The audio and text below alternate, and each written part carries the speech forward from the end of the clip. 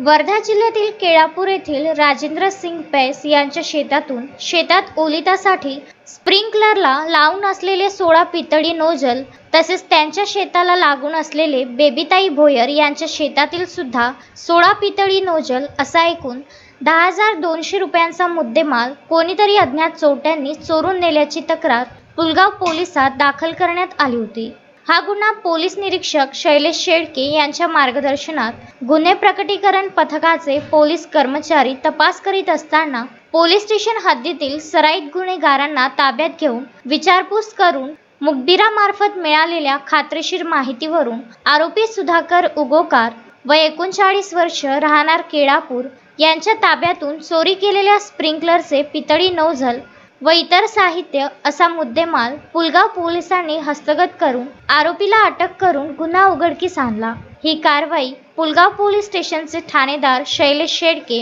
यांच्या निर्देशाप्रमाणे गुन्हे प्रकटीकरण अंमलदार खुशालपंत राठोड महादेव सानप विनोद रघाघाटे जयदीप जाधव मुकेश वांदिले यांनी केली आहे. अश्विन शहा विदर्भ न्यूज पुलगाव.